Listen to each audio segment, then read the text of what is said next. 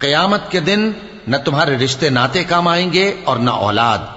उस रोज वही तुम में फैसला करेगा और जो कुछ तुम करते हो, अल्लाह उसको देखता है। मुसलमानों, तुम्हें इब्राहिम और उनके रुफका की नेक सीरत को अपनाना ज़रूरी है।